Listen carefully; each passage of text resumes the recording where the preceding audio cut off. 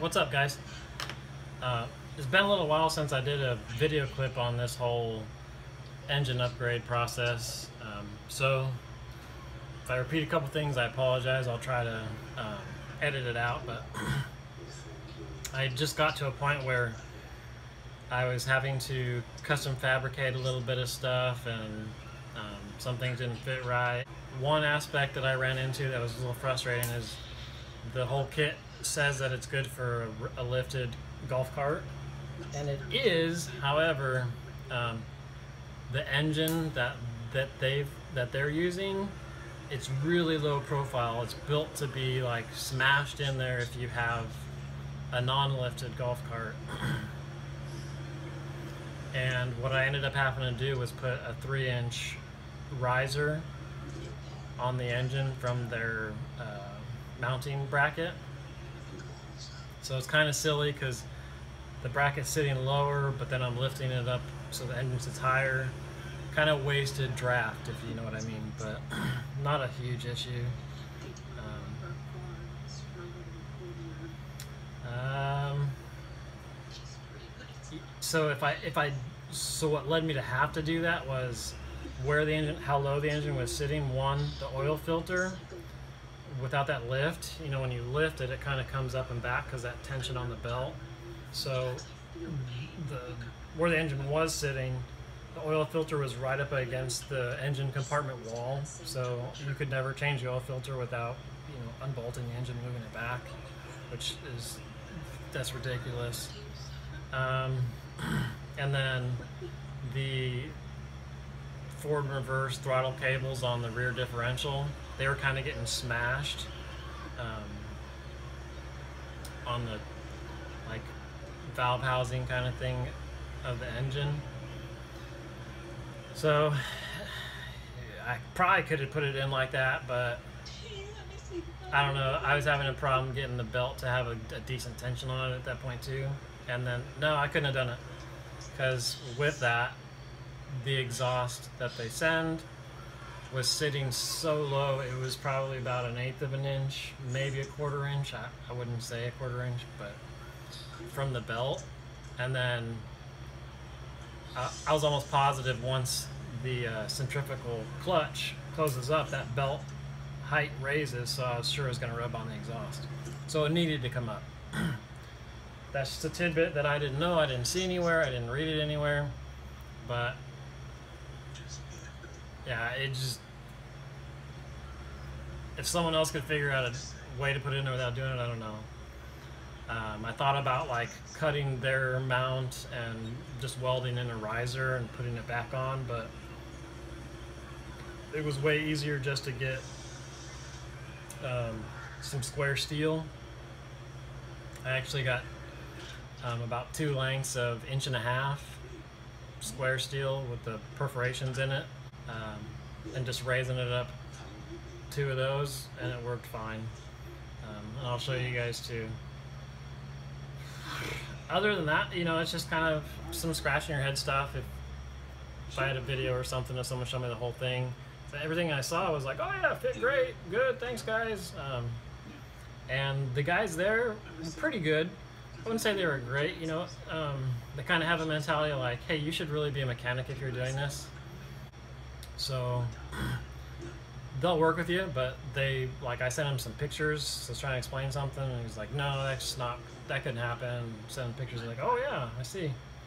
Um, but all in all, decent. I, I mean, uh, that the one part that I had that the the holes were just bored off wrong.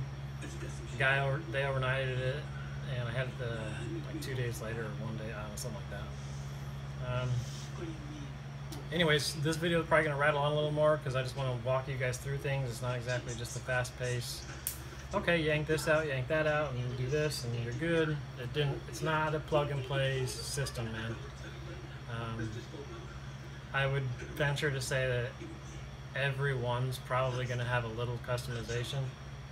Um, so I don't. I don't think you necessarily have to be a full-on mechanic, but you definitely need to know electrical theory um, and just some basic mechanic Uh,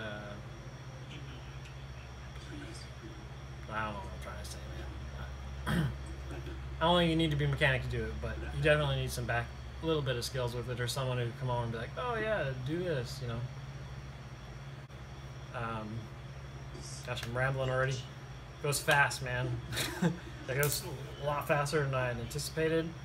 Part of that is because my secondary clutch on the, the back uh, differential, um, the guy pointed out when I sent him some pictures, normally they're an 8 inch. For some reason, maybe the previous owners or whatnot, I don't know. But mine's a 10 inch, so that was part of the reason that that exhaust was sitting so close. But that said, if it wasn't that big, then the engine would sit further up for that belt, all that tension to go somewhere, you know. Um, yeah, goes fast. Um, or I'll start it here in a minute. It's a little louder. I mean, it sounds like a, a gator or something now. It's it doesn't. It's not.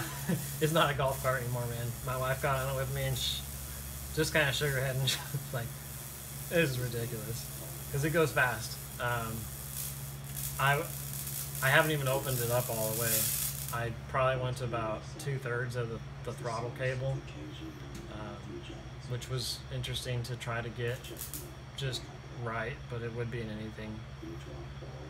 But yeah, it's moving fast. Anyways, man, I'll walk you guys through it. Alright, open it up.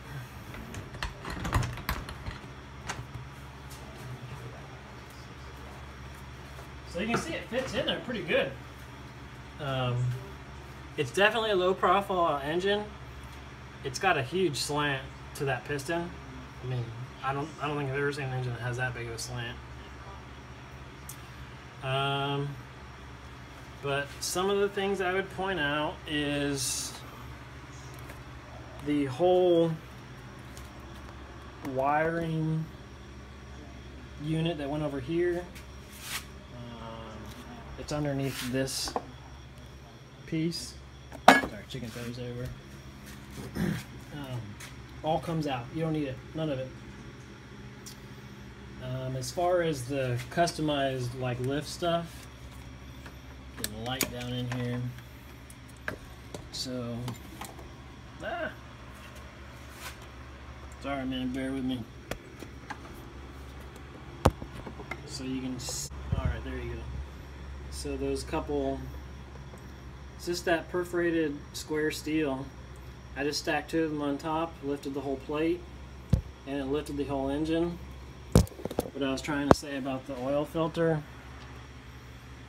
Um, the oil filter was sitting like right against the front of the engine compartment, but now I have enough space to take it off, which is cool. The part that I was saying about the exhaust, the exhaust right there, it was sitting right above the the belt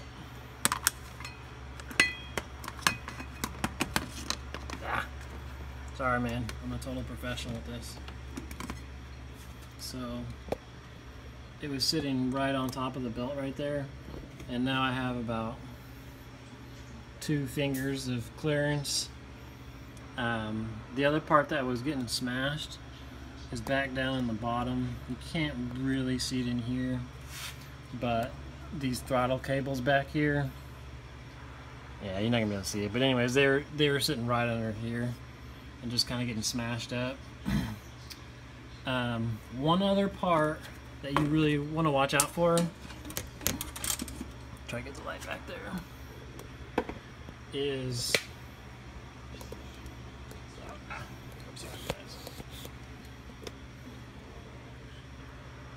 there's, don't know if you can see it, I'm trying to find it on the video. There we go see that spacer? I actually used one of the one inch, it said one inch, but they're a little bigger.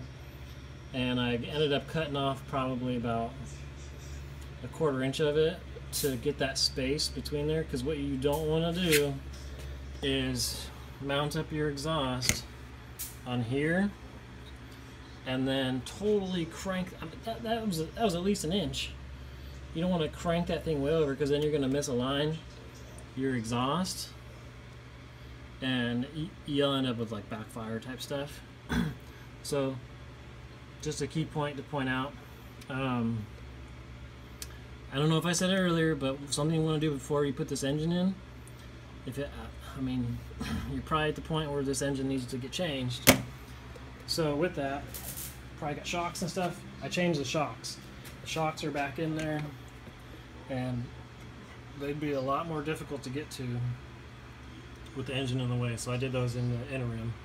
The choke right here, flimsy little plastic piece, and the old one used to be over here. So I'm gonna have to figure out a way to wire it and fabricate something so I can have a pull frame here.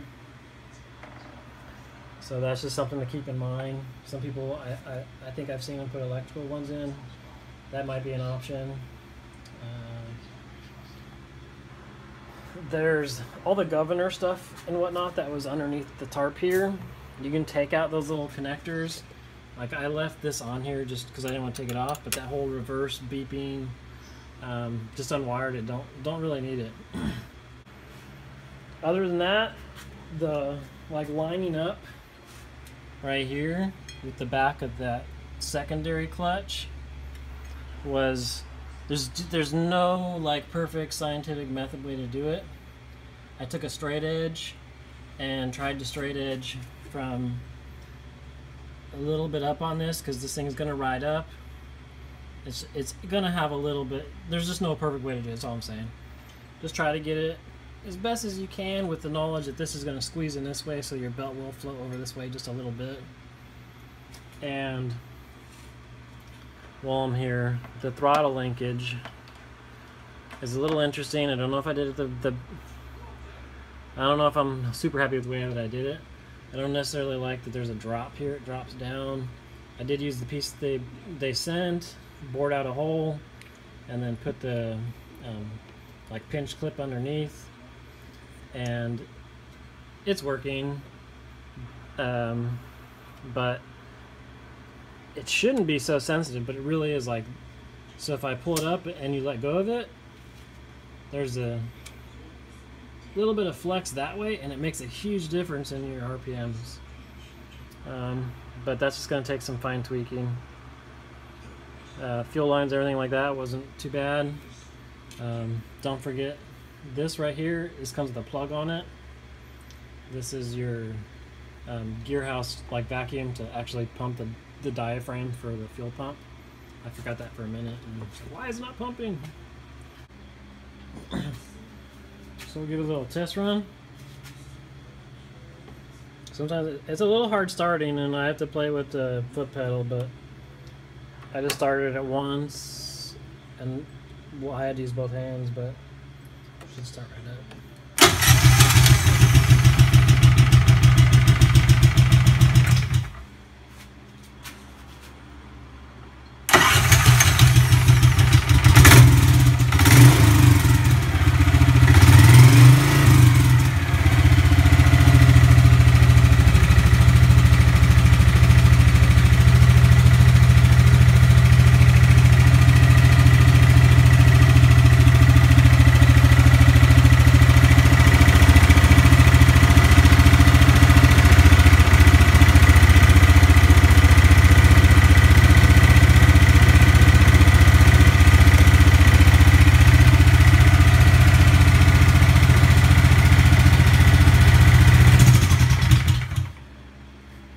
It's a little louder than a regular golf cart, man.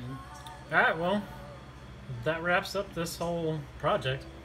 Um, hopefully, this helps you helps you guys. If it does, great, man. Um, I wish I had something to go off of when I was doing it. And I'm down to answer questions. If you guys have them, just post them on there. Um, let you guys know what I think. By no means a professional or anything, but uh, yeah. All in all, it's good. All right, guys, take it easy.